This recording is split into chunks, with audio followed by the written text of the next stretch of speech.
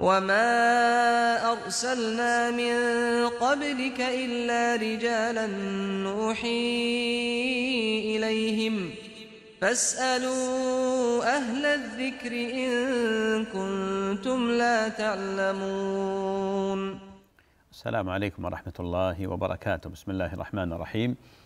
الحمد لله رب العالمين وأشهد أن لا إله إلا الله وحده لا شريك له ولي الصالحين وأشهد أن محمدا عبده ورسوله.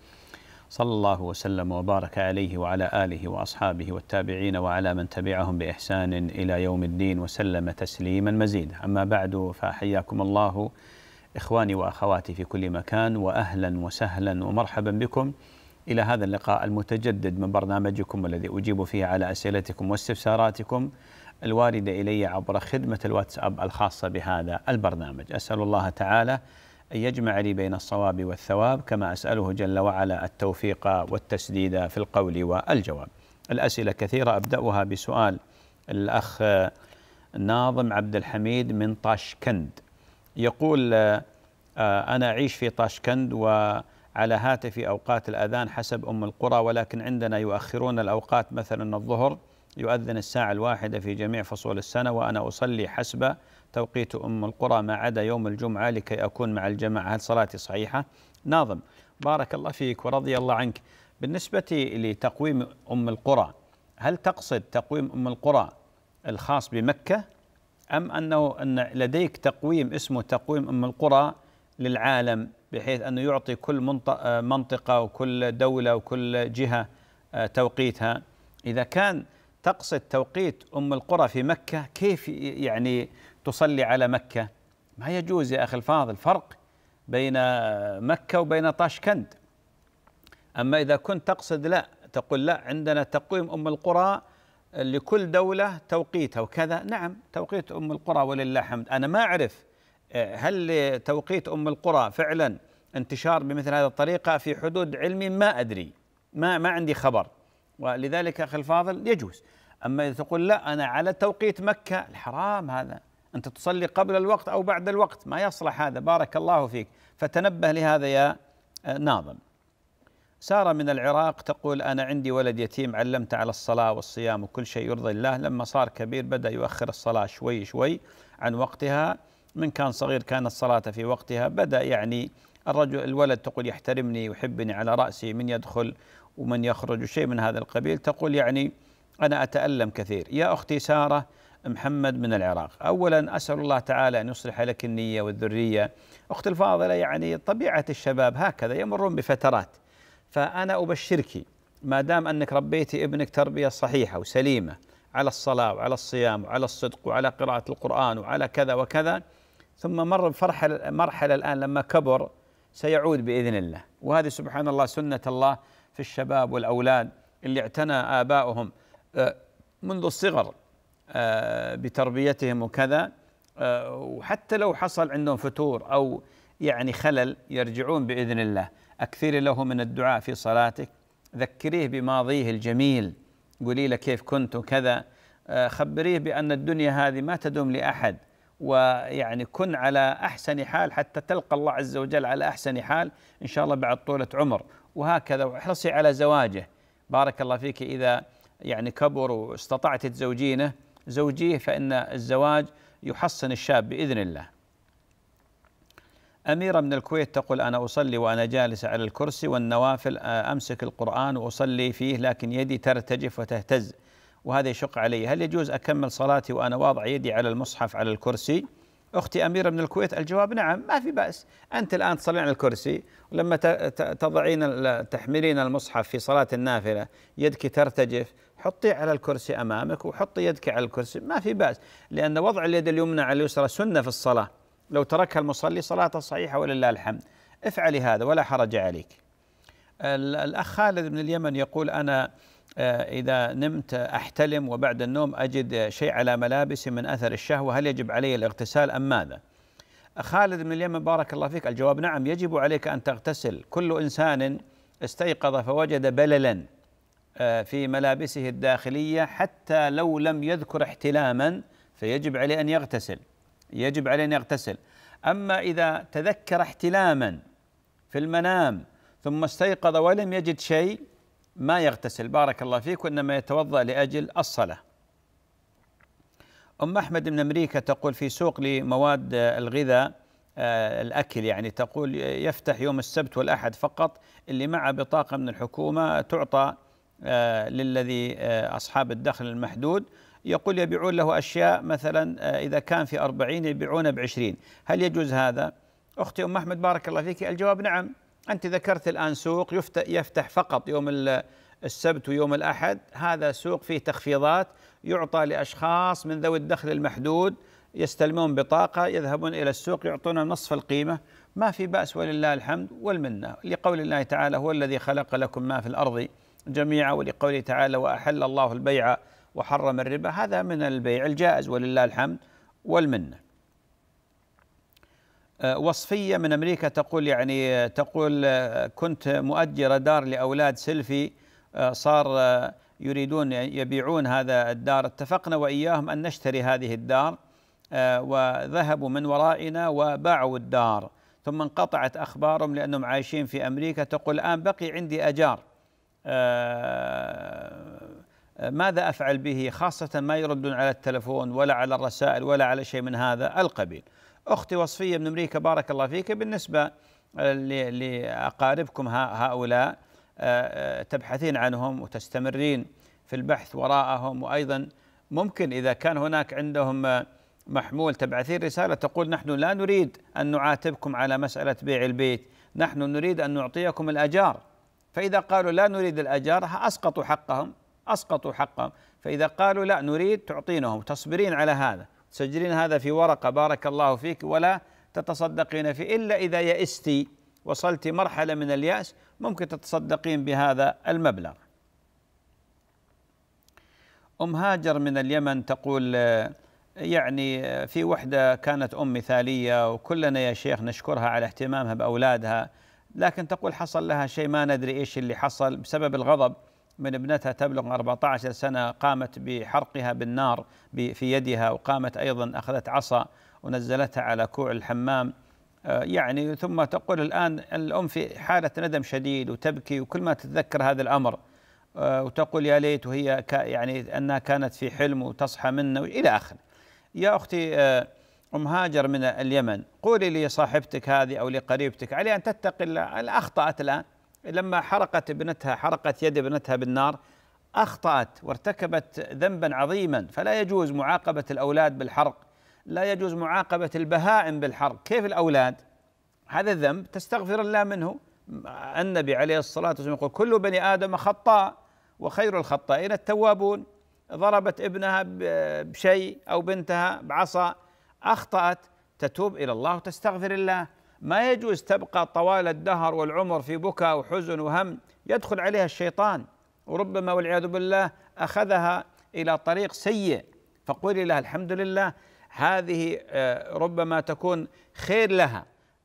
تكثر من الاستغفار تكثر من التوبة تكثر من ذكر الله. آه، أيضا تتعامل مع أولادها بطريقة جديدة بعيدة عن العنف بعيدة عن الضرب بعيدة عن كذا. وتخبر ابنتها بأن أخطأت في حقها وأنها إن شاء الله ما تعود لمثل هذا أبدا. وتربي ابنتها وقولي لها يعني تقول لها بأن ما فعلت هذا إلا خوف عليها. بهذه الطريقة وصلي لها هذا الكلام. بارك الله فيك. أم عبد الرحمن من من إيران تقول يعني آه، كنت حامل وقالت لي الطبيبة الجنين ميت في بطنك لازم تجهضينه وعمره شهرين. أخذتني إلى العملية وقالت الطبيبة أنه أشرف على العملية أنه أشرف على العملية وتقول رأيت طبيب دخل الغرفة غرفة العملية وأنا قلت لها لا أريد رجل يدخل غرفة العمليات وأعطتني التخدير الكامل بعدها لا أعرف شيء. هل علي شيء؟ أختي أم عبد الرحمن من إيران ما عليك شيء ولله الحمد والمنة. أنت الآن قلت للطبيبة ما أبغى رجل يدخل علي. الطبيبة أكيد التزمت هذا الشيء أكيد. لكن لو افترضنا أن حالتك ساءت في العملية وأعرف أنا بعض المستشفيات تقول لابد من تدخل الطبيب. لابد من تدخل طبيب أو تدخل جراح أو تدخل كذا. أنت ما عليك ذنب هذه ضرورة ولله الحمد والضرورات تبيح المحظورات. فما في داعي تحبسين نفسك بمثل هذا التفكير اللي ما له قيمة وما له رصيد من الواقع. يعني اعتبري بأنه ما دخل عليك رجل. أنت ما شفت شفت رجل مر. يعني هل هذا دخل عليك في العملية؟ اعتبر أنه ما دخل عليك. وما في داعي تفتشين وتسألين. وتراجعين الطبيبة استمري في حياتك بشكل طبيعي واتركي هذا الأمر. عبد الله من سوريا يقول هناك شخص من أقربائي كلنا نعرف أنه يرتكب المعاصي ويجاهر بها ما عنده مشكلة. الزنا والنصب الاحتيال الظلم لأهله وزوجته وأولاده يعزف على آلة العود يغني آه، إلى غير ذلك يشرب الكحول الكحوليات يقول يصلي أيضا ويصوم يصلي ويصوم. وإذا أراد أن يتصرف بشيء غير مألوف أو فيه ظلم يقول إن الله أوحى له بذلك جاء الوحي وأخبره بذلك.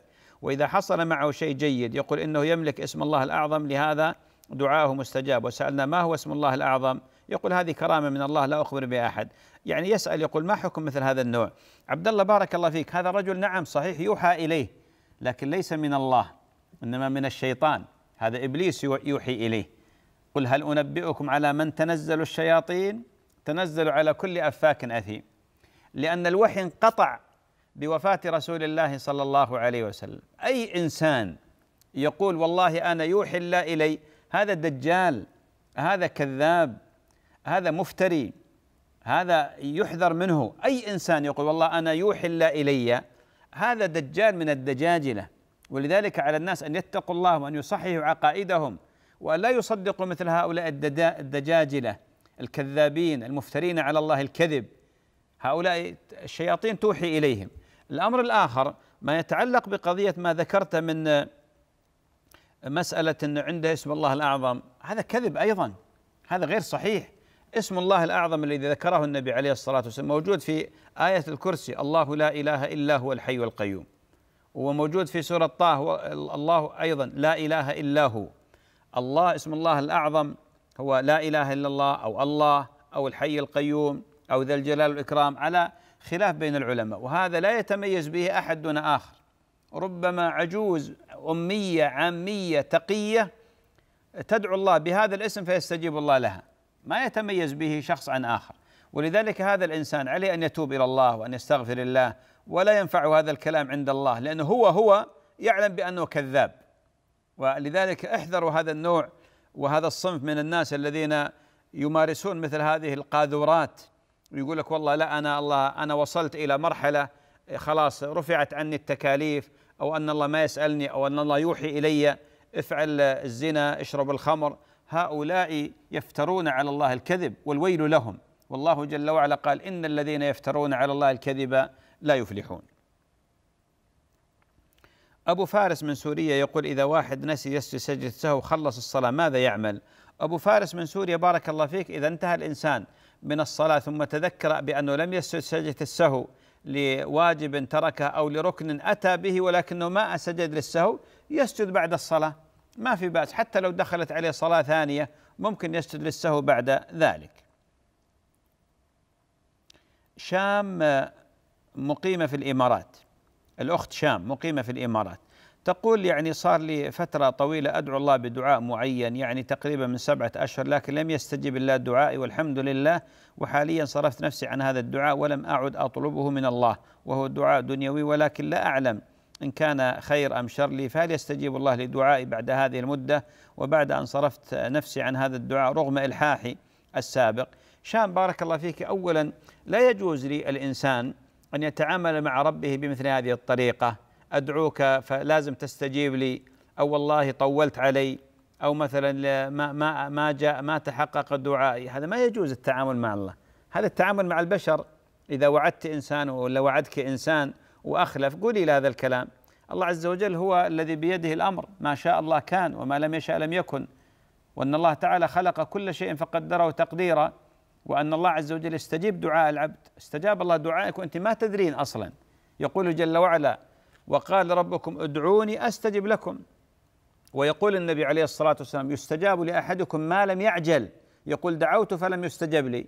والإنسان إذا دعا ربنا جل وعلا إما أن يستجيب دعاءه اللي طلبه وإما أن يدخر له مثل هذا الدعاء يوم القيامة يجد هذا الأثر العظيم للدعاء وإما أن يصرف عنه من السوء. مثل هذا الدعاء. ولذلك أنت قد يكون صرف الله عنك سوء قدره عليك وأنت ما تدرين. فالمؤمن يحسن الظن بربه. ما في مسلم يدعو الله بدعوة وقد توفرت شروط قبول الدعاء وانتفت الموانع. ما في مانع يعني من عدم قبول الدعاء ها؟ آه فالله يستجيب له. والاستجابة مثل ما ذكرت كما قال مثل ما ذكرت كما قال النبي عليه الصلاة والسلام. يستجيب له حالا أو مآلا يعني في في الوقت نفسه أو بعدين الأنبياء دعوا الله سنوات طويلة استجاب الله دعاهم.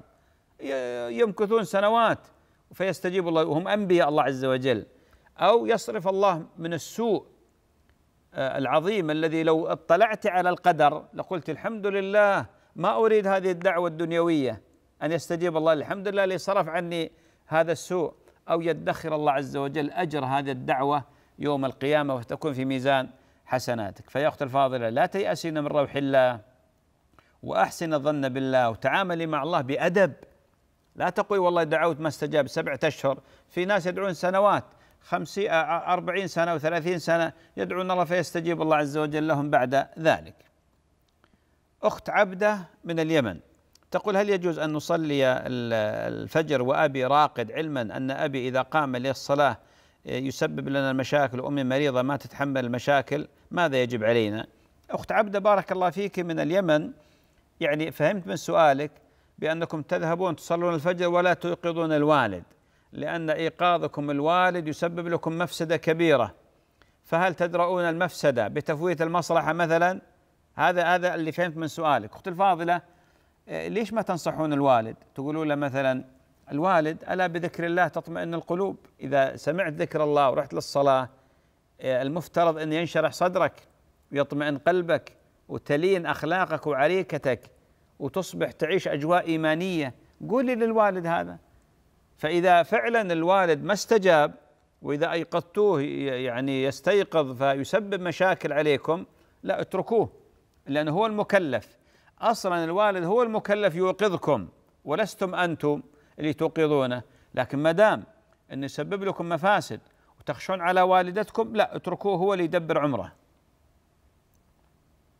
ريم من العراق تقول حديث هدايا العمال غلول. هل ما بين الصديقات في الوظيفة الحكومية من باب التهادي بالمناسبات والمحبة والصداقة. هل هذا حرام علما أن هذا متعارف عليه شيء طبيعي في مجتمع الوظيفة ولا يوجد قانون يمنع ذلك بشكل صريح وليست الهدية لأجل مصلحة وإنما عن حب ومودة؟ أختي آه، ريم من العراق. طبعا هدايا العمال غلول المقصود العامل الموظف. فيأتي شخص فيهدي للموظف هدية هذا محرم. النبي عليه الصلاة والسلام قال هدايا العمال غلول يعني خيانة خيانة. أما الهدايا بين الموظفين يعني أنتم في مكتب واحد عندك زميلات في المكتب صديقات وبينكم مودة تهدون بعض. ما في شيء هذا ما له علاقة هذا ليس له علاقة خاصة إذا كان بينكم تهادي قبل الوظيفة مثلا أو نشأت صداقة بينكم في الوظيفة أصبحت صداقة وتهدون لبعض ولا يقصد بها شيء معين بحيث أن والله تنجز لكم معاملة. آه، بطرق غير قانونية وغير شرعية وغير نظامية. ما في بأس هذا بين بين الموظفين. لكن أن يقبل الموظف من شخص مراجع هدية هذا هو المحرم. أو مثلا يتقرب الموظف إلى المدير المسؤول بهدية هذا الذي لا يجوز. لماذا؟ لأن هذه الهدية لهذا المدير ستنزل نفسه الكبيرة فتصغرها فيصبح هذا آه هذه الهدية تصبح سبب من أسباب ظلمه وسبب من أسباب آه عدم إعطاء الحقوق لبقية الموظفين ليكون هذا الموظف جاب له هدية وذاك ما جاب له هدية. ربما يرقيه ربما يعطيه امتيازات معينة على حساب الآخرين لأن هذا جاب له هدية. هذا المعنى. أما أنتم في طبقة واحدة في موظفي صديقات وزميلات ما في بأس بينكم بارك الله آه، فيك. أنور الشريف من هولندا يقول هل ينجس المسلم إذا شرب الخمر أو بعبارة أخرى؟ هل يصبح جسده نجسا إذا تناول الخمر؟ فقد سمعت حديث أن المسلم لا ينجس. أنور الشريف من هولندا بارك الله فيك. بالنسبة للمسلم إذا شرب الخمر فإنه لا ينجس لا ينجس المسلم إذا شرب الخمر. وما ذكرته ما, ما أشرت إليه من الحديث. نعم حديث صحيح. المسلم لا ينجس ولذلك هو ارتكب محرم لكن بدنه لا ينجس. بدنه لا ينجس وإنما الواجب عليه آه، إذا صحى أن يتوضأ لأن عقله قد غاب حتى يصلي. بارك الله فيك. محمد من ليبيا يقول هل المرأة المطلقة عليها عدة؟ الجواب نعم يا أخي الفاضل. المرأة المطلقة التي دخل عليها زوجها تعتد بثلاث حيض والمطلقات يتربصن بأنفسهن ثلاثة قروء تعتد بثلاث حيض. فإذا اغتسلت من الحيضة الثالثة خرجت من العدة. وإذا كانت المرأة لا تحيض فإنها تعتد بثلاثة أشهر لأن كل شهر في مقابل حيضة. أما إذا كانت المرأة المطلقة طلقت قبل الدخول عقد عليها زوجها عقد عليها لكن ما دخل بها فطلقها بانت منه بينونة صغرى لها نصف المهر وليس عليه العدة ليس عليها العدة. بارك الله فيك. نسرين محمد مرعي من مصر تقول أريد أعرف هل تنعقد الجماعة بالأم وبنت واحدة عمرها عشر سنوات أو بنتين عشر سنوات وست سنوات؟ نسرين بارك الله فيك. تعلمين أختي الفاضلة بأن المرأة لا تجب عليها صلاة الجماعة. المرأة لا تجب عليها صلاة الجماعة. لكن إذا صل أرادت أن تصلي الجماعة نعم تنعقد بواحدة. فلو قامت معك بنت عمرها عشر سنوات أصبحتم جماعة ولله الحمد والمنة. أصبحتم جماعة ولله الحمد والمنة. في القول الراجح لأن من العلماء من يقول الجماعة تنعقد بالبالغ. لكن النبي عليه الصلاة والسلام قال مروا أولادكم بالصلاة وهم أبناء سبع سنين واضربوهم عليه وهم أبناء عشر. ولذلك اللي في هذا السن تنعقد به الجماعة. فإذا حبيت تصلين جماعة في البيت مع بناتك جائز ولله الحمد والمنة. آه، أم عبد الله من اليمن آه، تسأل تقول هل يجوز آه، نشر صوت امرأة توفيت وهي تقرأ القرآن بنية الصدقة؟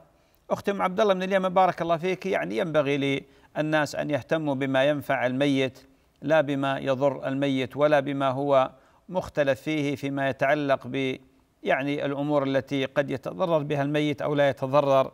فلذلك اتركوا هذا الأمر. بارك الله فيكم. المتوفى هذه بين يدي الله ولا يخفى بأن المرأة يعني آه، آه، في في حياتها آه، ينبغي أن تكون في حال بعيدة عن أسماع الرجال صوتها إلا لحاجة مثلا.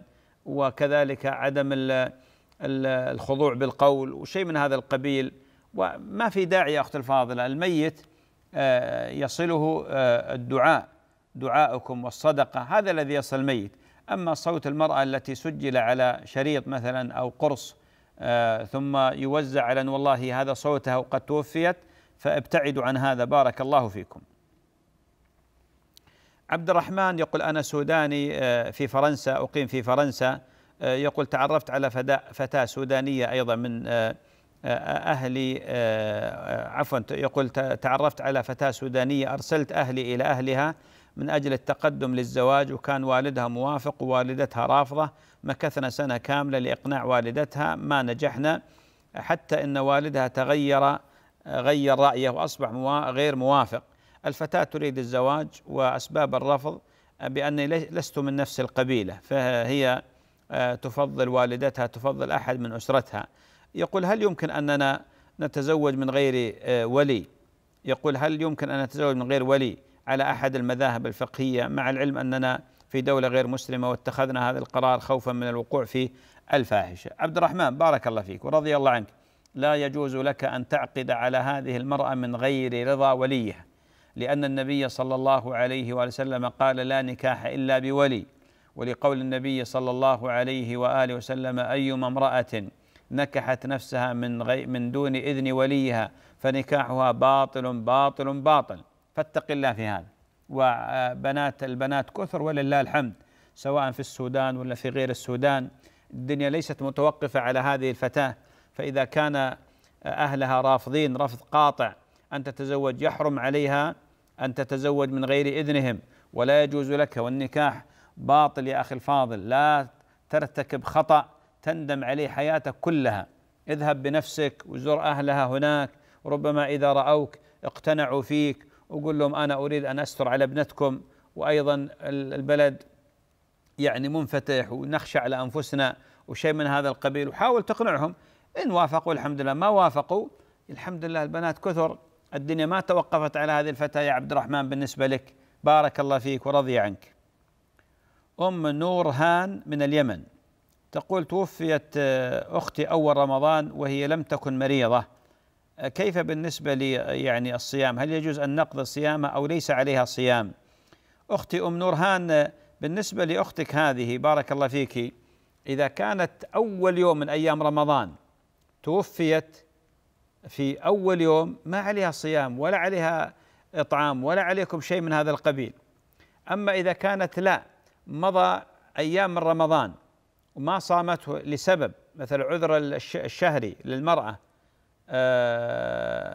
وما صامت هذه الأيام ثم جاءها جاءها الموت اتصل الموت آه، بهذه هذا العذر ما عليكم ولا عليها شيء.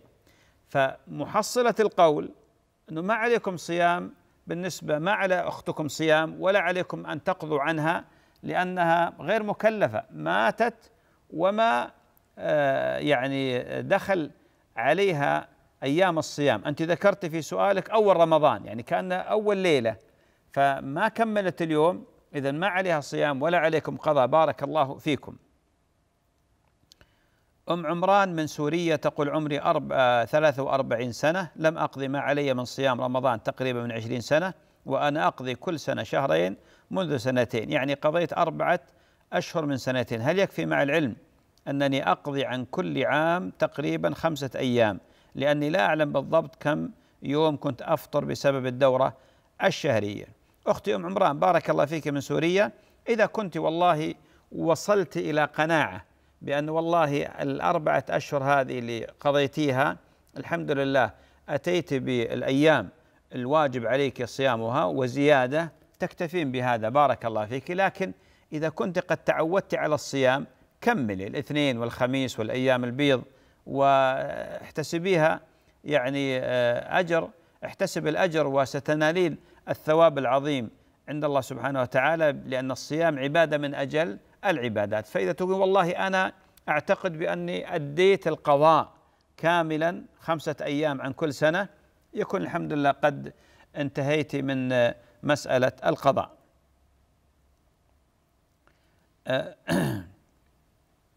الأخت أم رنا أو بنت اليمن عفوا. بنت اليمن تقول ما حكم أو ما الفرق بين النميمة والذمامة؟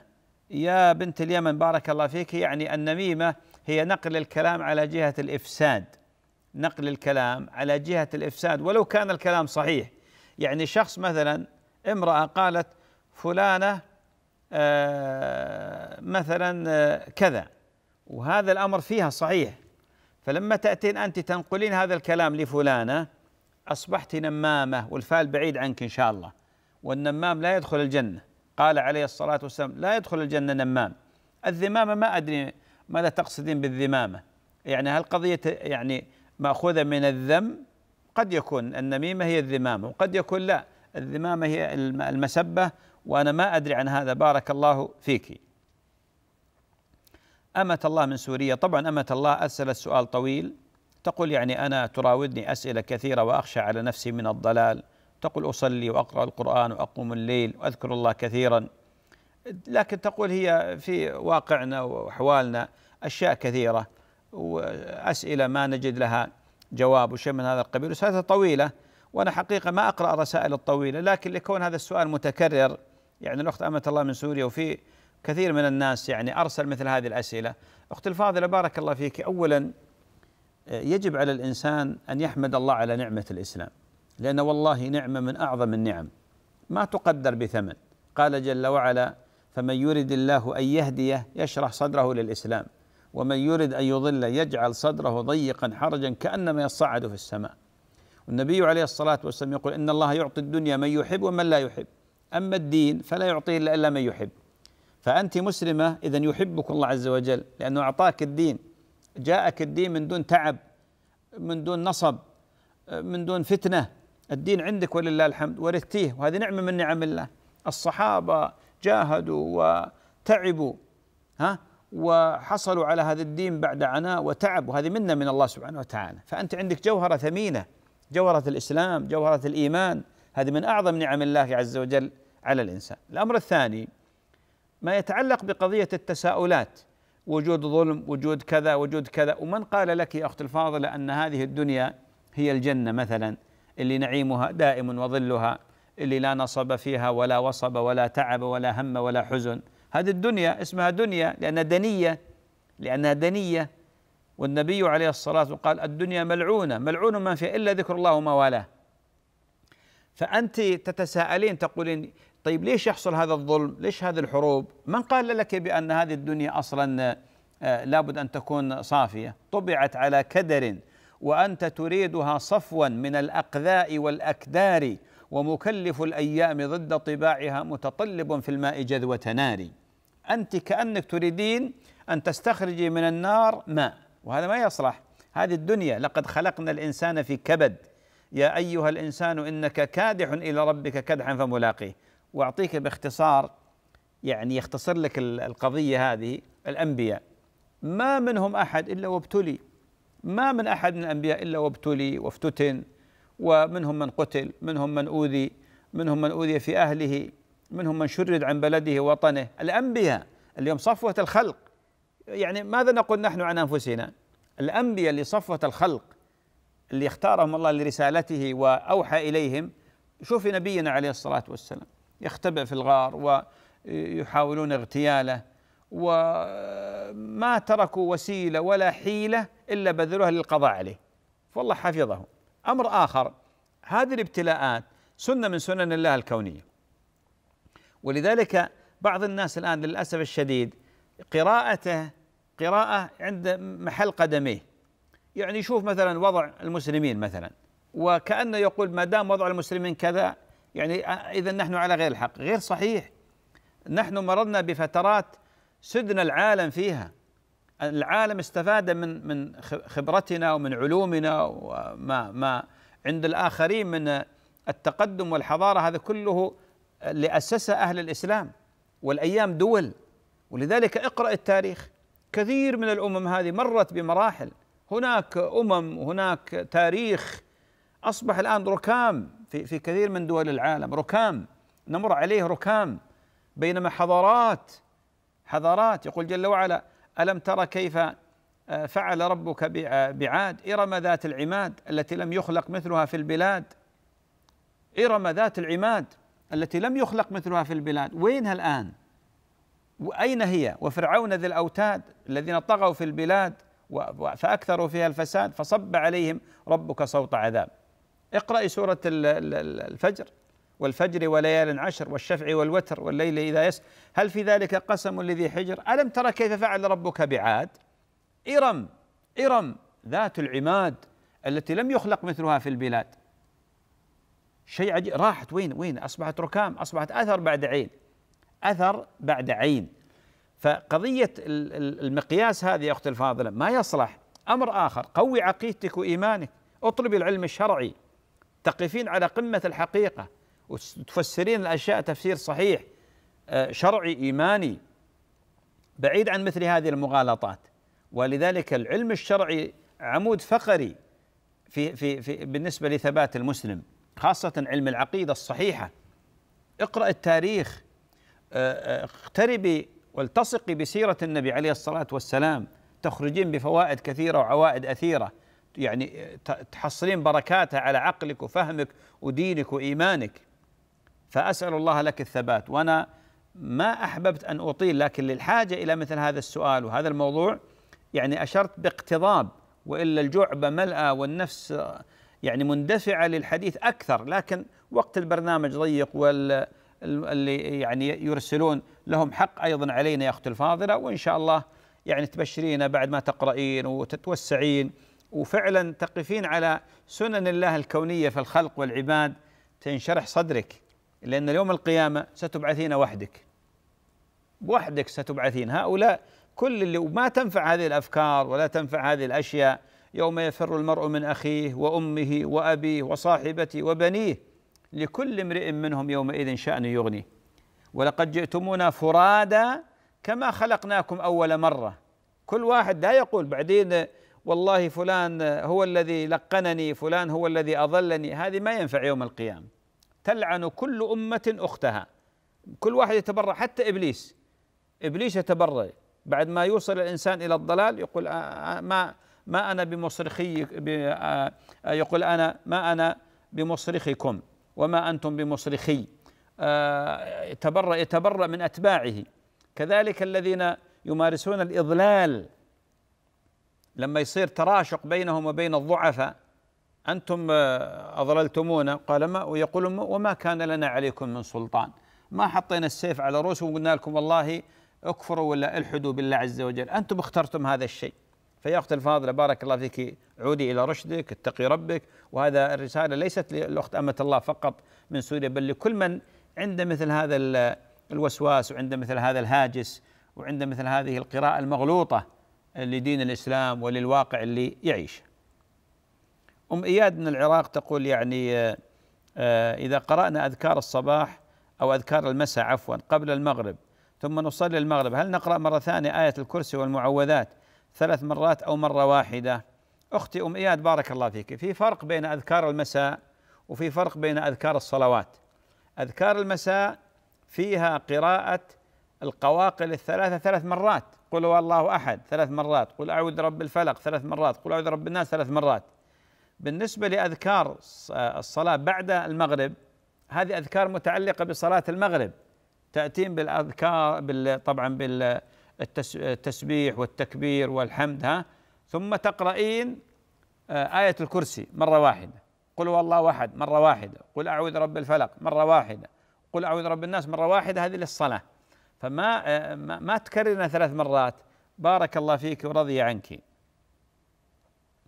أم زينة من الموصل العراق تقول أنا استودعت ثلاث ملايين دينار عراقي في مصرف أهلي في عام 2013 2014 وعند سقوط الموصل آه، بيد الإرهابيين على آه، سرق هذا المبلغ مع من ما سرق من أموال البنك وإلى الآن لم أستطع استرداد المبلغ ولا أعلم إن كنت أستطيع أم لا. أستطيع استرداد سؤالي هل تقع علي الزكاة عن هذا المبلغ طوال هذه السنين علما أني دفعت الزكاة في العام الحالي فقط إذ كنت أجهل ذلك. أم زينة بارك الله فيك. من شروط وجوب الزكاة استقرار الملك ملك المال. أنت ما تملكين المال المال الآن في مهب الريح. الآن المال سرق. ما تملكين المال. فما عليك زكاة يا أخت الفاضل. وإذا أحد أفتاك قال طلع الزكاة أخطأ. إذا كان اجتهاد منك هذا مرده إليك. اللي أخرجتيه صدقة وليس زكاة. اللي أخرجتيه صدقة وليس زكاة. فأسأل الله تعالى أن يرد لك مالك. صلى الله عز وجل أن يجعل آه، يعني آه، هذا الأمر الذي حصل لك سبب من أسباب دفع البلاء عنك وعن أسرتك. لكن عموما اخت الفاضله إذا رجع لك المال من جديد وقبضتيه تستقبلين به سنة جديدة. ما تزكين عن الفترة من 2014 أو 13 إلى الآن. ما تزكينا. بارك الله فيك لأن مالك في حكم المعدوم. آه رشيد من فرنسا آه يقول آه أنا أعيش في فرنسا وعند دخول وقت الصلاة وأنا في المصنع لا يمكنني تأدية الصلاة باطمئنان إلا في السيارة. هل صلاتي مقبولة؟ رشيد بارك الله فيك. يعني قضية الاطمئنان في الصلاة ركن من أركان الصلاة. الطمأنينة في الصلاة ركن من أركان الصلاة. ولا تصح صلاة مصل إذا لم يطمئن إلا إذا كان عاجزا إلا إذا كان عاجزا. السؤال لماذا لا تطمئن إلا في السيارة؟ هل تخاف إذا صليت مثلا آه، في المصنع بأنك تعاقب أو تسجن أو مثلا يعتدى عليك؟ الجواب نعم صلي في السيارة. إذا تقول لا والله أنا أشوف راحة أرتاح في السيارة هذا غلط. إلا إذا كانت السيارة كبيرة بحيث أنك تقف في السيارة تقف مثل بعض الشاحنات يصلي في الخلف مثلا يجوز لك أن تصلي في السيارة وفي أي مكان ولله الحمد والمنة. أم أسامة من ليبيا تقول هل يصلح قراءة السورة في الصلاة من غير البسملة؟ الجواب نعم يا أم أسامة. يجوز للإنسان أن يقرأ آه، سورة من سور القرآن ولو لم يبسمل في الصلاة وفي خارج الصلاة. في الصلاة وفي خارج فالصلاة صحيحة ولله الحمد. والمنة أم علي من السعودية تقول أمي الله يرحمها كانت تأخذ من الضمان الاجتماعي وقبل استلامها المبلغ. توفيت ذهبت أنا واستلمت المبلغ عنها بصفته أنا هي. يعني كذب عليهم. أخذت المبلغ لأنه كان الفلوس نازلة لها وكان إخواني محتاجينها لأنها آه، تنزل سنويا لها. ماذا علي إذا كنت ما أدري هذا حلال ولا حرام؟ بعد ما كبرت فهمت. هل علي شيء؟ والمبلغ الذي أخذناه توزع علينا كلنا القصد من أخذ المال لأنهم إذا عرفوا أنها ماتت رفعت الفلوس ولا تنزل إلا إلا السنة الجاية. ولي إخوان أعولهم. أختي أم علي بارك الله فيك من السعودية. إذا كان النظام الموجود نظام الشؤون الاجتماعية أن المرأة نزل إذا المرأة إذا توفيت وقد نزل المبلغ في حسابها آه، بعد مضي فترة من الزمن نعم هذا جائز وحلال لكم ولله الحمد والمنة. أما إذا كان العكس وهذا اللي فهمته من سؤالك أنه لا ما دام أنها توفيت حتى لو دخلت عليها السنة أو بقي مثلا أيام هذا يرجع إلى الضمان الاجتماعي هذا لا يحل لكم وهذا كذب. وأنت فيما فهمت من سؤالك أنك تجهلين هذا الأمر تستغفرين الله وتتوبين إلى الله سبحانه وتعالى وإذا استطعت تتصدقين بهذا المبلغ. أهم شيء أنكم بلغتم الضمان الاجتماعي بأن والدتكم قد توفيت. حتى لا يستمر المبلغ. واعتقد بأنكم كما أفهم أخبرتوهم بهذا. يبقى قضية إذا عندك قدرة مالية طلعي هذا المبلغ صدق. إذا ما عندك قدرة مالية ما عليك شيء بإذن الله سبحانه وتعالى. أمة الله من إيطاليا تقول أنا ما كنت أعرف أن الزكاة واجبة حتى أصبحت أتابع البرنامج. الحمد لله برنامج فتاوى كنا نجهل الكثير. آه ثم الحمد لله تعلمنا. تقول هل علي الزكاة وكم يجب إخراج على المليون يورو؟ يا شيخ آه يعني لأنني في حيرة.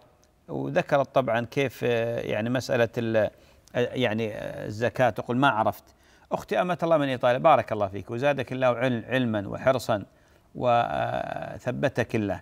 أخت الفاضلة الزكاة واجبة. كل من ملك مال وبلغ النصاب وحال الحول عليه 12 شهر قمري وجبت فيه الزكاة. وجبت فيه الزكاة. الزكاة ربع العشر. وأنا لما ذكرت أنت ذكرت طبعا في تتم السؤال الأخت أمة الله في قضية الأربعين تقول كيف أقسم؟ أنا أسهل للناس. الآن ما في أحد إلا عنده محمول عنده حاسبة موجود فيها الحاسبة.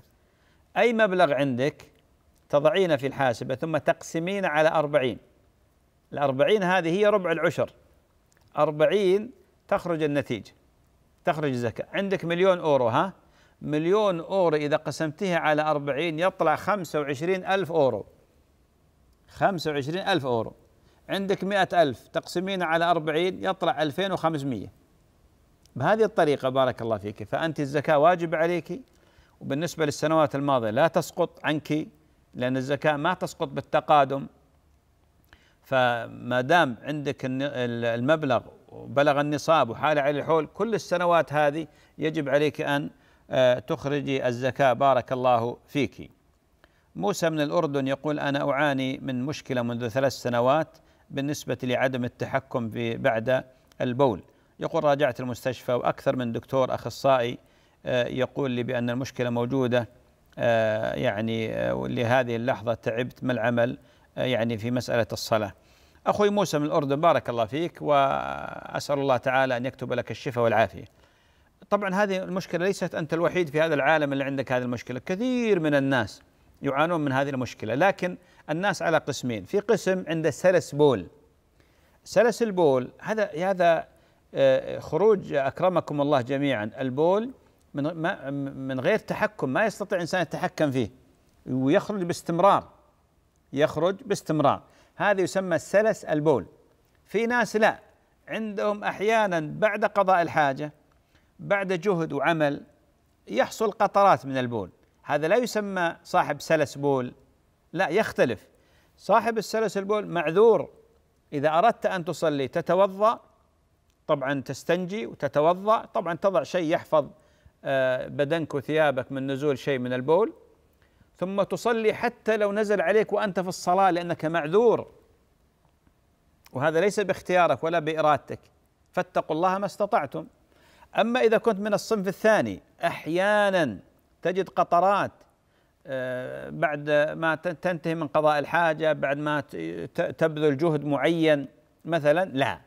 هذا يجب عليك أن تتنظف تنظفا كامل بمعنى تستنجي والفقهاء ينصحون باستعمال الماء البارد لأن هذا يعني يسهم إسهام كبير في انقباض العضلات وعدم استدرار البول بارك الله فيك. ثم بعد ذلك تصلي. المسألة سهلة يا أخي الفاضل. فأنت من أي الفريقين؟ فأنا أعطيتك الآن الجواب على الحالتين. أحمد المسكين من سوريا يقول أنا عمري 73 سنة أيضا ما يزبط معاي البول وشيء من هذا القبيل. أخوي أحمد المسكين من سوريا لعلك سمعت جوابي على الأخ موسى من الأردن قبل قليل. فإذا كان عندك البول آه، عندك مرض سلس البول ما يتوقف أبدا أبدا المسألة سهلة ولله الحمد. تستنجي ثم تضع شيء حتى لا يسقط على ثيابك وبدنك وبقعة الصلاة وتصلي حتى لو نزل عليك أثناء الصلاة. لأن هذا ليس باختيارك ولا بإرادتك. وكذلك النوع الثاني واعتقد بأن لا هذا لأن واضح من سؤالك وسؤالك طويل أيضا واضح بأن عندك سلس بول. أما إذا كنت لا قطرات فقط لا هذا تتوضأ لكل صلاة وتتنظف وتنتبه وتستعمل الماء البارد كما نصحت الأخ موسى. محمد من فرنسا يقول هل يجوز للإمام أن يطرد الأطفال من الصف الأول؟ الجواب لا. كيف يطرد الأطفال من الصف الأول؟ هل هذا أسلوب آه، شرعي للإمام أنه يطرد الأطفال وينفرهم عن الصلاة؟ النبي صلى الله عليه وسلم كان يفرح إذا سمع صوت الأطفال في المسجد. مرة من المرات خفف الصلاة لما سمع صراخ الطفل رحمة بأمه عليه الصلاة والسلام واعتذر لأصحابه رحمة بأمه. مرة من المرات لما حمل الحسن أو الحسين في الصلاة ووضعه عند قدمه فلما سجد أطال السجود حتى أن بعض الصحابة خاف على النبي عليه الصلاة والسلام لأن ليس من عادته أن يطيل هذه الإطالة. فرفع رأسه ثم سجد. فاعتذر النبي عليه الصلاة وقال إن ابني هذا ارتحلني. يعني الولد صغير يلعب فركب على ظهر النبي صلى الله عليه وسلم وهو ساجد فأطال السجود. مر وهو على المنبر وجد أيضا الحسن أو الحسين دخل المسجد يتعثران في ثوب أو يتعثر في ثوب. فنزل من المنبر وحمله على يده وصعد المنبر وقال صدق الله إنما أموالكم وأولادكم فتنة. كيف يطرد الإمام الأطفال من المسجد؟ بدل ما يفرح بدل ما يسر آه، قلبه بهؤلاء الأطفال هذا أسلوب خشن وغليظ. ما يليق بإمام المسجد أن يفعل مثل هذا الأمر وإنما يتلطف معهم وممكن يجلس معهم بعد بعد الصلاة ويقول لهم ما رأيكم؟ لو صليتم في الصف الثاني ما رأيكم؟ لو صليتم في الصف الثاني لأن النبي صلى الله عليه وآله وسلم يقول ليليني منكم أولو الأحلام والنهى. أو يلقي كلمة على الآباء ويثني على هؤلاء الأولاد. في فرنسا نتمنى الأولاد يصلون المسجد نتمنى يعني يحافظون على على دينهم يقوم ويطردهم. هذا كلام حقيقة مزعج ومؤلم. ولذلك ذكروا هذا الإمام بالله وخوفوه بالله وقولوا له ربما هذا الطفل إذا رأى مثل هذه الغلظة والخشونة ربما ترك الصلاة بالكلية. بل الواجب عليه يأتي لهم بهدايا يحفزهم يعطيهم بعض الكلمات اللي ترفع من معنوياتهم تحببهم إلى الصلاة. ذكره بالله خوفه بالله. ولو صلى الطفل في الصف الأول صلاته صحيحة ولله الحمد والمنة. بشرى من الجزائر تقول تزوجت من ثلاث سنوات من رجل يعني مستقيم ذكرت عقيدته ومنهجه وكذا. تقول وما زلت بكرا لم يدخل بي يعني هو فقط يستمتع من دون يعني الجماع. تقول ما حكم ذلك في الإسلام؟ أختي بشرى بارك الله فيك ما أدري يعني إذا كان زوجك عنده عجز مثلا ما يستطيع أن يقرب النساء لابد أن يفصح لك هذا. لابد أن يفصح لك بهذا لأن هذا عيب يرد به النكاح فإذا كان عنده هذا العيب قبل العقد فهذا غش وخديعة وكذب. ولذلك يتحمل ما يترتب على هذا الأمر. ولك الحق الكامل في طلب الفراق. لأن طلبك الطلاق بسبب الأمر الثاني إذا كان لا هو عنده قدرة لكنه هكذا غير عارف الأمور وغير فاهم استنطقي قولي له خير. يعني الحياة الزوجية يعني من مقاصد هذا الأمر؟ أن أن يحصن الإنسان فرجه. فإذا أبدى لك عذر آه، مقنع أنت هذا راجع لك. إذا لم يبدي لك عذر آه، ما يعني لك الخيار الكامل. إن تبقين معه على هذه الحالة ولا تفارقينه. وإذا فارقتيه فارقتيه بحق وليس بباطل. لأن النبي عليه الصلاة والسلام قال أيما امرأة طلبت الطلاق من غير ما بأس. هذا هو هو هذا من أعظم الأسباب. إن إن الزوج يمتنع عن زوجته بمثل هذه الصورة. وما زالت الزوجة بكر في مشكلة عند زوجك. ولذلك راجعيه اجلسي معه وقولي له أخبرني ماذا لديك وما عندك. هل أنت مريض؟ قولي له الكلام هذا. كوني شجاعة وصريحة معه. فإذا ابدالك قول كيف خدعتني وكيف غشيتني؟ هذه خديعة وغش وكذب وخيانة. أما إذا قال لا طرع علي شيء يقول أنا أنا كنت سليم فطرع علي شيء. ممكن يكون سحر ممكن يكون عين مثلا. ممكن تكون عقدة نفسية عنده آه، النبي صلى الله عليه وسلم قال ما أنزل الله داء إلا وأنزل له دواء يعالج ويداوي بالرقيه الشرعية بالذهاب إلى المستشفى. إذا قال لا والله أنا حياتي الزوجية ستكون هكذا هذه ما هي بحياة زوجية هذا لعب واستهتار فلك الحق الكامل في مفارقته. يونس من العراق بارك الله فيه يقول عمري 13 سنة أسأل هل تربية الطيور في الأقفاص في البيت حلال وكيف تؤخذ أرواح الحيوانات عند موتها. يونس بارك الله فيك ورضي الله عنك وأسأل الله تعالى أن يحفظك لوالديك. بارك الله فيك ابني. نعم يجوز. يجوز شراء الطيور ووضعها في الأقفاص والتلذذ بتغريد الطير وبأصوات الطيور. يجوز هذا نص العلماء على جواز ذلك. أما قضية قبض الروح نعم الحيوانات أيضا تقبض أرواحها ولذلك الحيوانات أيضا تحشر يوم القيامة. الحيوانات كلها تحشر يوم القيامة. ثم يقول الله عز وجل بعدما يقتص آه، من بعضها لبعض يقول كوني ترابا. فيقول الكافر يا ليتني كنت ترابا. بارك الله فيك. يجوز شراء الطيور وضعها في الأقفاص لكن أهم شيء يا ابني بارك الله فيك إنك إنك تحافظ عليها من حيث توفير الطعام والشراب وتبعدها عن كل ما يسبب في هلاكها من الحر الشديد أو البرد الشديد. أو وضعها تحت المطر تنتبه لهذا. بارك الله فيك. أبو محسن من أمريكا يقول رزقت بولد وأسميته محسن على اسم خالي خال لي آه لاسم من قبل ما أتزوج. يقول وحصل آه، أن الوالد كان آه معارض وأنا الآن في حيرة آه، أريد أن أسميه وما أريد أن أزعل أبي. أبو محسن بارك الله فيك من أمريكا تريد نصيحتي؟ اترك هذا الاسم ما دام الوالد غير مقتنع. رضا الوالد ابدا من الإصرار على مثل هذا الاسم. الأسماء كثيرة ولله الحمد والمنة. ما دام والدك آه، ترى بأنه مصر على تغيير هذا الاسم وعدم الاقتناع به وربما الوالد آه، يعني إذا أصريت على ذلك أخذ منك موقف ها؟ وش تسوى الدنيا عندك؟ ما تسوى والله شيء. الوالد هو رأس مالك. الوالد هو رأس مالك. فأنصحك بأنك تطيع الوالد وستدخل السرور عليه. تقول له يا أبوي أنت ماذا تريد؟ تشوف تأثر الوالد ويمكن يندم أحيانا. يقول ليتني وافقت عليه. وممكن يقول لك خلاص ما دام يشوف أنت بار فيه مثل هذا البر قد يقول لك سمي ما تشاء. فاحرص على بر الوالد. بارك الله فيك. محمد علي من السودان يقول أنا مقيم في الإمارات. يقول لدي السؤال بالنسبة للصلوات الجمعة اللي فاتت علي إذا لحقت على آخر ركعة في السجود هل أصلي ركعتين أو أربع؟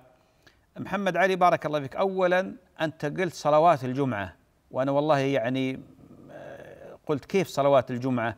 هل أنت دائما هذه طريقتك؟ مسألة خطيرة.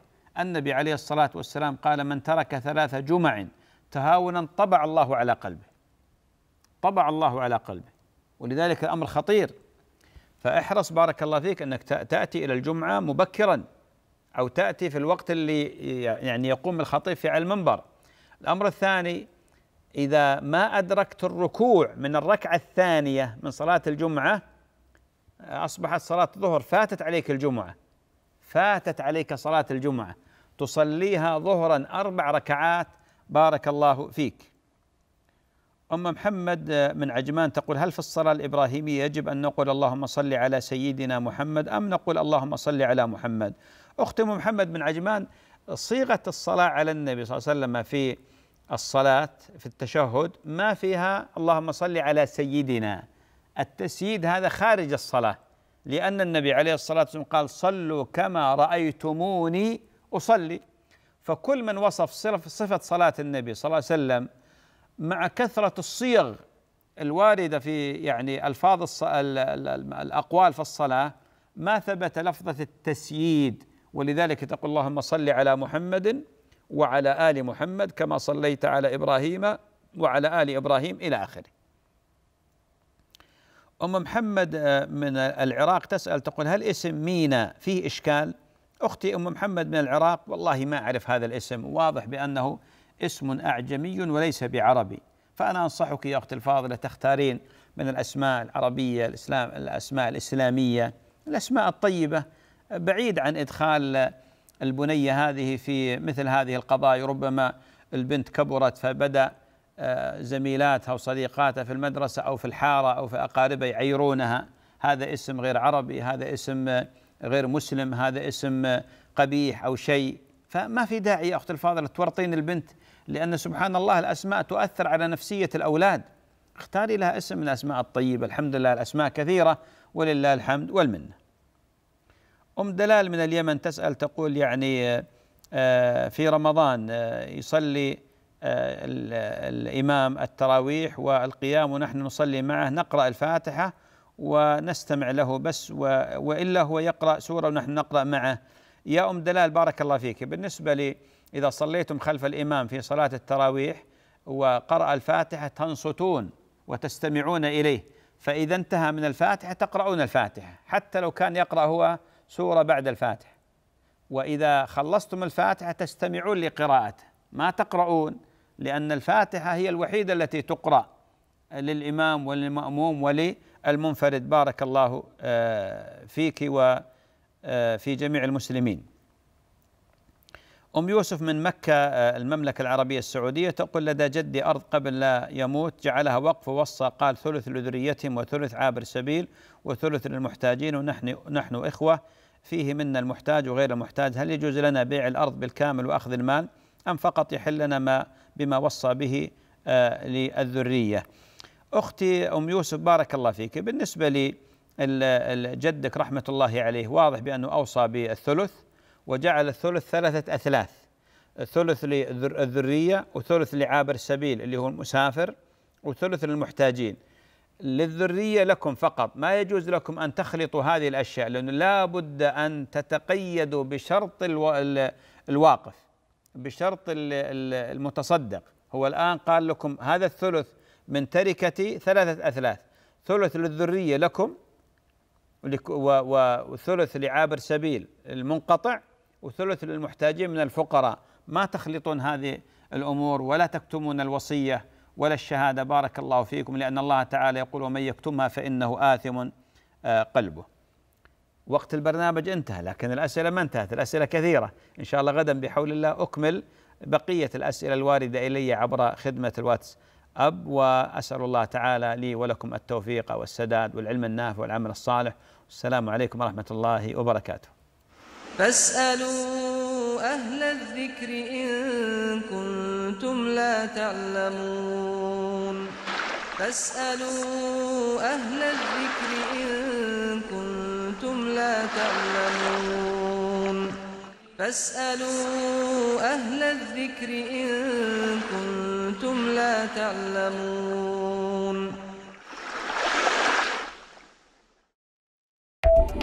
هذا البرنامج متوفر عبر تطبيق مرايا. حمله الآن من جميع المتاجر الإلكترونية.